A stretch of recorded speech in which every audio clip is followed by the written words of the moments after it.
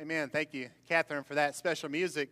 Catherine and I are pretty lonely up here. There's nobody else up here. It's just the two of us. And uh, I told her earlier, it felt like back when we were doing the COVID shutdown and we were the only two people up here. Terry was in the back and we were in an empty room. It feels kind of lonesome, but we're glad you're here and you guys are doing great this morning. It's good to see everybody here in worship today. Today, I want to talk to you about the great reward, and I invite us to hear these words from Luke chapter 6, verses 27 through 38. Jesus says, But I say to you that listen, love your enemies, do good to those who hate you, bless those who curse you, pray for those who abuse you. If anyone strikes you on the cheek, offer the other also.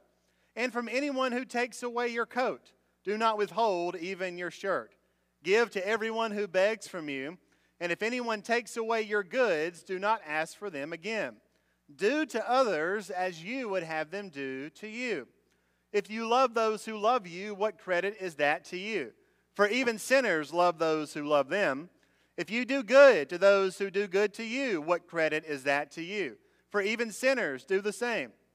And if you lend to those from whom you hope to receive, what credit is that to you? Even sinners lend to sinners to receive as much again. But love your enemies, do good, and lend, expecting nothing in return. And your reward will be great, and you will be children of the Most High. For he is kind to the ungrateful and the wicked. Be merciful, just as your Father is merciful. A little girl sat down to eat her lunch one day. There was a fine peanut butter jelly sandwich and a glass of milk there on the table waiting for her, but she didn't touch any of it. A little while later, she went to her mother and she said, I don't feel good. And her mother asked what was wrong, and she replied, I have a stomach ache. And at that point, the mother looked over and saw the sandwich and milk were still there. And she said, Well, honey, your stomach hurts because it's empty. You need to put something in it. Eat your lunch and you'll feel better. Well, about this time, the preacher stopped by their house for a visit. And as they were talking, the preacher began to complain. He said, You know what? I've had this headache all day long. I can't shake it. There's nothing I can do about it. And that's when the little girl looked at the preacher and she said, I know why, Pastor. It's because your head is empty. If you would put something in it, you wouldn't feel so bad. that could be true for us preachers. I don't know. We all deal with hurts, don't we? Most of us deal with hurts that are worse than a stomach ache or a headache. I think we can all agree today that human beings hurt each other. It's been happening ever since the entrance of sin into the world. We've all been hurt before. Someone uses us, we get skipped over for a promotion at work, a colleague takes credit for our job, a spouse cheats, somebody exploits a friendship for their own gain, someone that we care for ignores us, a friend talks behind our backs. On the other hand, sometimes we're the ones who are dishing out the hurt, aren't we? We hurt ourselves, we hurt those around us. We look back on many situations with regret. I wish I hadn't said that. I wish I hadn't done that. I could have handled that differently. Why was I so harsh? Why did I hurt them. You know, I don't think anybody ever gets to the end of their life thinking, I wish I would have hurt more people. It's usually the opposite, right? I wish I would have been kinder. Why was I so severe? So many things I wish I could take back. It seems like this is just the, the cycle of the world, doesn't it? It seems like this is just how things are going to be forever. Being hurt, hurting others repeatedly, until the end of time.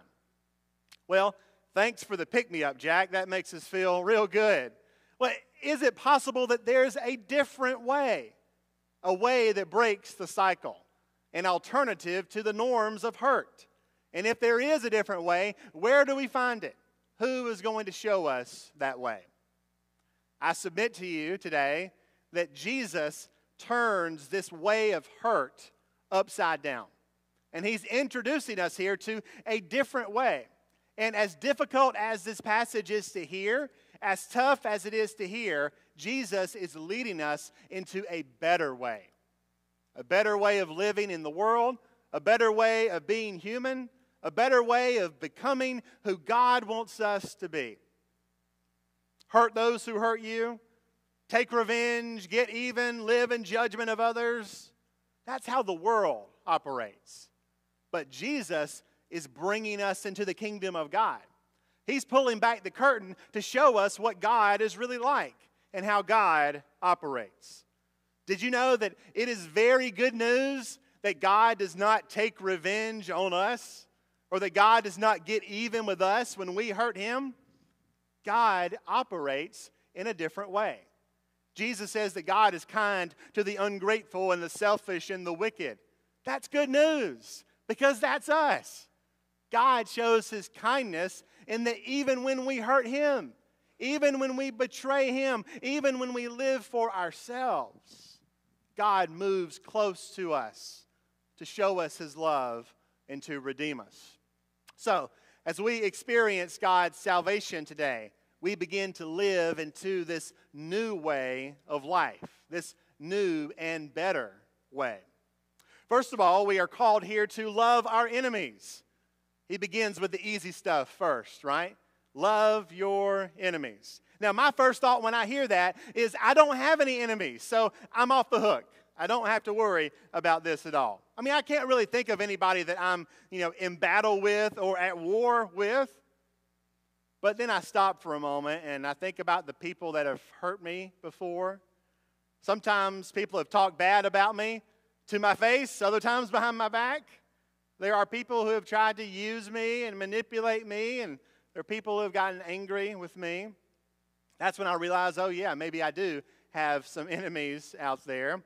And I'll tell you what I do. My response when that kind of stuff happens is generally just to try and ignore when I've been hurt. You know, push it down beneath the surface, try to move past it, don't think about it, don't worry about it. But what counseling and therapy teaches us is that that's not the best way forward. Just trying to, to push everything down beneath the surface is not going to make things any better. In fact, it's going to make things worse. Jesus challenges us here to go deeper. We don't want to ignore what happened to us, but on the other hand, we don't want to retaliate and take revenge. But we are called to actually love our enemies. Now, one good way to start this is to begin to pray for your enemies. And that does not mean, God, please strike them down today. God, I hope they have a terrible day today. No, that, that's, a, that's a revenge prayer. I've wanted to pray those kind of prayers before, but it's not really a good idea. That's too easy. Instead, we can ask for God's blessing on them. We ask for God's love to be poured into their hearts. God, would you bless my enemies today? Would you bless so and so? Would you bless that person? Would you cover them with your love and your grace? Would you help them to know you better today? Well, Jack, they don't deserve prayers like that. Of course they don't. I don't either. But notice that Jesus doesn't talk about them deserving anything here. He just commands us to love our enemies. Maybe we can also begin to widen our definition of enemies I mean, what about political enemies?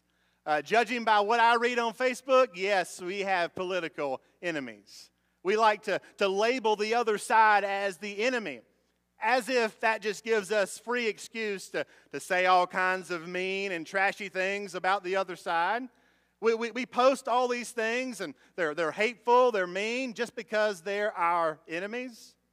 Let's be clear the other political party is not our enemy. They both love America. They both have different ideas about the best way forward. You can disagree about those ideas. You may think it's not a great way forward. You may think it's a terrible way forward. But we can do that without labeling the other side as the enemy. But I know you're going to love this part. Even if you say they are my enemies, Jack, you're wrong about that that still doesn't give us license to hate them and be mean to them because of what Jesus says in this text. Jesus says here to love your enemies. There's no way around that. There's no wiggle room there. There's no way to make that say something different than what it says. That means if you're a Republican then Democrats should see you and know you as the most loving Republican that they've ever met. If you're a Democrat, then Republicans should see you and label you as the most loving Democrat that they've ever known. This labeling each other as the enemies got to stop. It's tearing us apart as a country and it's numbing our souls. We got to lower the volume, right? We got to lower the anger when it comes to politics, or it's going to consume us. Sometimes I'm afraid it already has. We've got to do better. Jesus calls us to a better way forward. Secondly, Jesus calls us to do good here. You know, it's not just enough to, to cease from revenge or anger, but we are to be proactive in doing good to those who hate us. What if you saw your enemy at a restaurant and you proceeded to buy their food for them? Or what if you sent flowers to the person who had talked bad about you? Not poison flowers, but real flowers, really nice flowers. What if you heard that they were sick and you brought them a meal and sat with them? Doing good is active. It's something we do. We work for the good of someone else, even if they haven't been working for our good. John Wesley was the founder of the Methodist movement, and uh, he gave these three rules to the Methodist people. And he first commands the people to, to do no harm. He's, that means do no evil. Don't, don't actively hurt or harm anybody else. That's simple enough to understand. But then he commands us to actively do good. He says this He says, Do good of every possible sort, and as far as possible, do good to all people. We can look around at our local church and see people that we don't always agree with or see eye to eye with, but we know they're hurting. We know they're going through a difficult time. Maybe we pick up the phone and we call. Maybe we pay them a visit. Maybe we help to chip in with medical costs or drive them to the doctor. Maybe there are people in our community that we view as our enemies. First of all, stop doing that. A second, how can we be proactive in, in reaching out, crossing the divide, and, and building a bridge where it's needed? We can listen to other people's stories, get to know them, we can learn, and then we'll just realize that they're just people. No need to label each other as enemies. Third, in the text, we're called to be merciful. We can be merciful and not judgmental. Did you know that, that one of the strongest opinions that younger people have of the church today is that we are too judgmental? And sadly, there's a lot of truth in that. When others look at us, what do they see? Do they see only what we're against, or do they see what we're for? Do they see only our anger and our rage and the things that we disapprove of, or do they see our mercy and our compassion towards others? I think it's easy to be judgmental. That's the easy way. I think it's easy to, to look down our noses at other people and, and think that we're better than them. We've got it all figured out. They need to get with the program. It's a lot more difficult to be merciful. There was once a middle schooler who got in trouble with one of his teachers one day. He was goofing off in the class, disrupting, trying to get the other guys to, to laugh at his dumb jokes. Can y'all imagine a middle schooler doing something like that? Well, the teacher finally had enough of this. And uh, by the way, this, this person is me. I'm the middle schooler in this story. Teacher finally got enough of it. She called me outside, and I knew I was done for at this point. That's when my teacher, she said, Enough of this. I know your mother. You know I know your mother. You got to stop, or I'm going to tell her what you've been doing. I'm not going to do it, but cut it out. And I felt this huge wave of relief fly over me at that point. I mean, that could have gone wrong so quickly. My teacher extended mercy when I didn't deserve any mercy at that point. And I'll tell you, I shaped up pretty quickly after that, too. Are we quick to show mercy to people around us? As a pastor, I can tell you that nobody has ever come in my office to complain, so and so showed me too much mercy today. It just doesn't happen. Jesus says that God is merciful. He's merciful towards sinners, He's merciful towards us. Did you know that God doesn't have to be merciful to us? It's not written in stone that God must be merciful. God could just strike us down with a lightning bolt. God could just snap his fingers and we'd be dust. But instead, God chooses to be merciful and kind, even to the ungrateful and the selfish. So instead of living like the cutthroat world around us, we can choose mercy too. Mercy to those who have hurt us, mercy to those who have wronged us, mercy to those who are out to get us, mercy to those who give us a hard time. We don't have to respond in retribution. We can respond in kindness. Now, listen to some of Paul's words from Romans chapter 12. Paul says, Do not repay anyone evil for evil, but take thought for what is noble in the sight of all. If it is possible, so far as it depends on you, live peaceably with all. Beloved, never avenge yourselves. Do not be overcome by evil, but overcome evil with good. Human beings hurt each other. Do we get to hurt them back? Do we get to wrong them back? Jesus and Paul both say no. Hasn't there been enough hurt to go around in this world? Hasn't there been enough hurt in our own lives? We don't overcome hurt with more hurt. We don't overcome evil with more evil. We overcome evil with good. We overcome evil with mercy. We overcome evil by doing to others as we would have them do to us. Of course, we know that that one little verse, verse 31, is called the Golden Rule. And the, the, the, golden rule was fascinating to me. It's very interesting. It's kind of like this little imagination exercise that we do. We think about how we would like to be treated, and then we go and treat others that same way. I want people to treat me with kindness and mercy and grace. So I go out and treat other people with kindness, mercy, and grace. I think about, you know, if I were sick, I would want somebody to, to check up on me and help me out. We go and do likewise. If I experience heartbreak, I would hope that my friends would be there around me to rally around me and support me. We go and do likewise. If I did something dumb, I would hope that my friends would not all leave me and I'd be there on my own. We go and do likewise. The golden rule flows out of our love for God. I mean, it's very countercultural to, to think about others and to treat others the way we would like to be treated. But then we remember how God has already treated us. We remember the kindness and the mercy of God. And I want others to treat me that way, so I have to treat them in that same way. Well, we've made it all the way to the near end of the sermon without talking about the great reward. Think about it. Does, do, do we follow Jesus to get a reward? Do we follow Jesus just to get a treat? Is it like those fun little trinkets that, that I used to get so excited about? Those things that would be at the bottom of the cereal box when I was a kid? Hey, this one has a dinosaur. This one has a bendable army man. This one has a race car. How cool.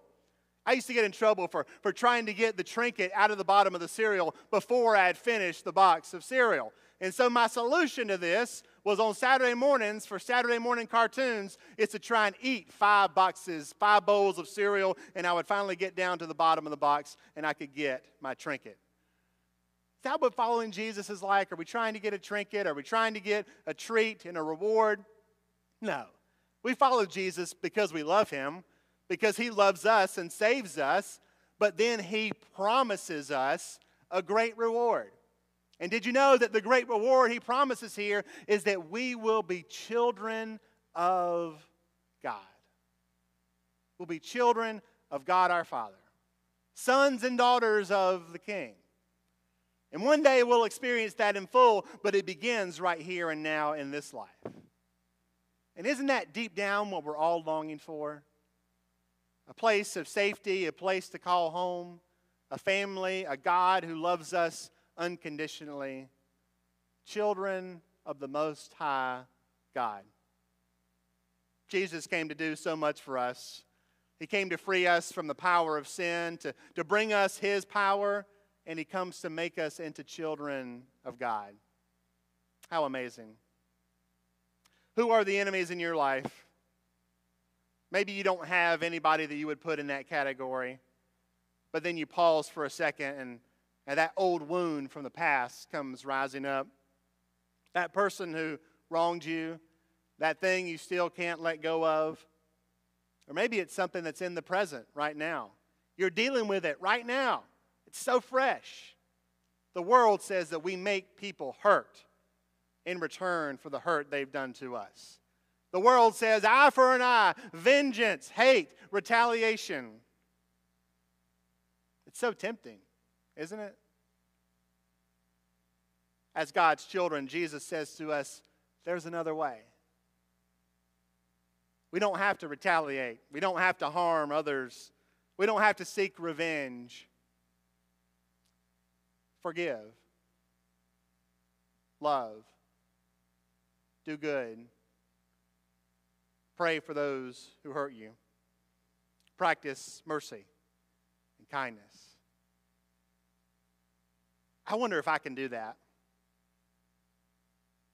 I wonder if we can do that.